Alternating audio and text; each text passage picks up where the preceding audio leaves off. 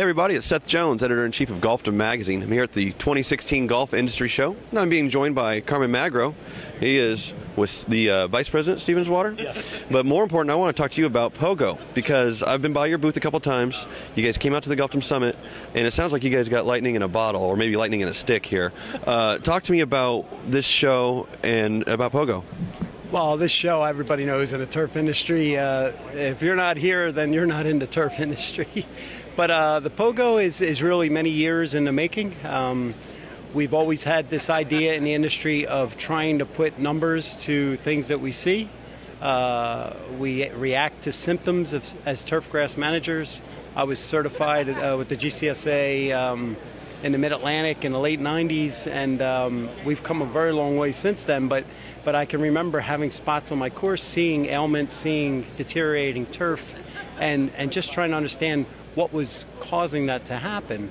Well, if you fast track the last 10 or 12 years, uh, we've, we've advanced technology so rapidly and so soundly that the, uh, any superintendent or turf manager out there now can carry uh, a POGO device and have analysis done right before your eyes that would have otherwise taken lab reports and, and consultants and, and, and many, many days to kind of figure out. So, uh, so POGO is really the uh, culmination of um, uh, many years of, of uh, technology brought down to a level where it's very simple to use, it's very simple to understand, and it's powerful for making better decisions in turfgrass management. What is it that makes it different? Because there's other there's other soil moisture monitoring devices, but you know I know there's obviously there's a GPS element. There's different. Uh, brag about it for me. Yeah, brag about it. So um, yeah, sure. There's lots of equipment out there where we can monitor one thing here, one thing there, another thing here. But you got to put all that together to really understand understand what it means. And the Pogo is much more than just moisture. You call it a moisture meter. Um, many things affect the turfgrass quality and how turfgrass performs.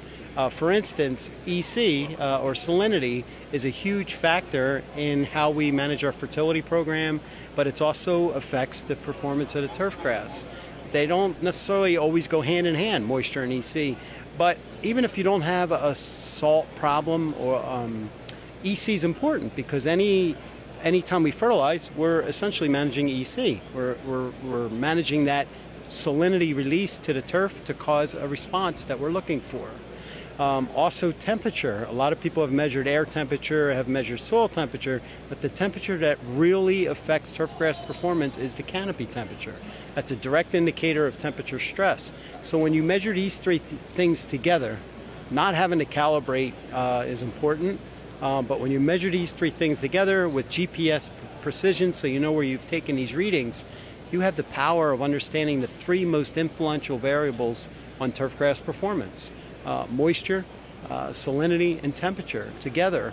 And with those three variables, we can determine a lot about the trend toward or away from a problem developing. We could essentially see things like black layer forming before black layer actually shows up because you'll see that air and water exchange going the wrong direction before you see that symptom. That symptom that I used to manage as a superintendent, we can see that symptom coming before it actually shows up on the golf course. And that that's a big deal for turfgrass management, in my opinion. Good. Well, it's always fun to see these new technologies come along, and this one's clearly, uh, I can tell by the, the traffic that you're getting, the traffic that you got, you guys got the Golfdom Summit. Uh, this is going to be fun to watch and see where it goes next. Yeah, so. we're, we're really excited about it. Okay. So, and, and, I'm happy to tell you that uh, you actually we uh, wrote up uh, a little piece on it in the uh, March issue of the magazine. So check out the March issue, which will be in mailboxes soon.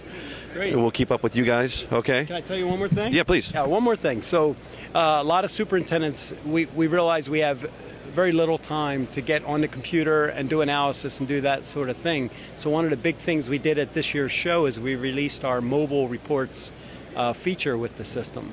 Now, a user, instead of having to go to the computer, they upload their data, and the mobile visual analysis reports come right back to your phone.